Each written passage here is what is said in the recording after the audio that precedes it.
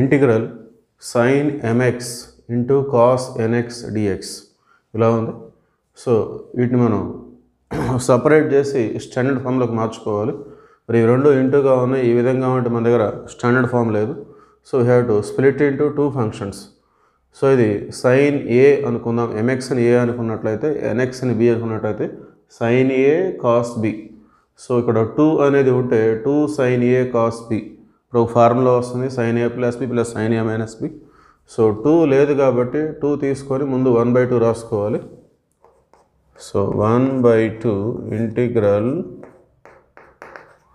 two sine M X cos N X D X so ఎంఎక్స్ని A తీసుకోవాలి ఎన్ఎక్స్ని బీగా అనుకోవాలి. సో ఫార్ములా వచ్చేసి one by two two sine A cos B sine A plus B sine M X plus N X so X common తీసి right side రాసుకుందాం. అట్లానే sine A minus B sine M X minus N X so ఇక్కడ కూడా X common తీసి మనం right side రాసుకుందాం. So ఇప్పుడు మనకి రెండు స్ప్లిట్ అయిపోయినాయి రెండు separate functions so integral sine X D X ఆ మోడల్లో ఉంది.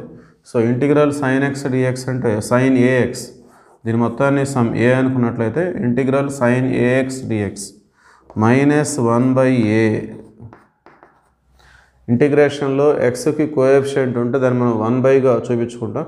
మరి సైన్ చేస్తే మైనస్ కాస్ట్ వస్తుంది. So integral sine A X అంటే minus one by A cos A X that means cos M plus one into X so మరి ఇక్కడ కూడా అదే formula integral sine A X D X so ఇక్కడ కూడా minus one by M minus N cos M minus N into X plus C so this is the answer okay next integral sine M X into sine N X so ఇక్కడ రెండు sign functions ఏమున్నాయి ఉన్నాయి? So ఇక్కడ కూడా మనం ముందు one by two రాసుకొని టూతో ఇంటూ చేసుకుందాం.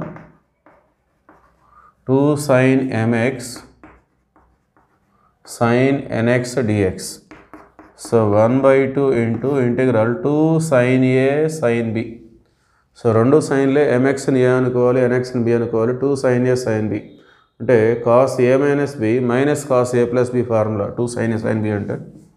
So cos A minus B అంటే M X minus N X so X common తీసుకొని M minus one into X minus cos A plus B so M X plus N X so X common తీసుకుంటే M plus N into X so దీన్ని మనం ఈ విధంగా split చేసుకోవచ్చు.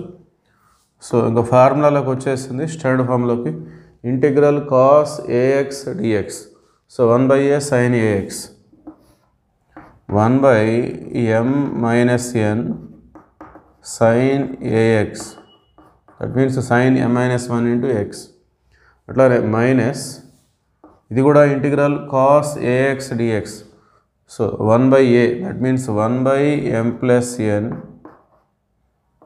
sine ax. That means m plus n into x plus c. So that is the final answer.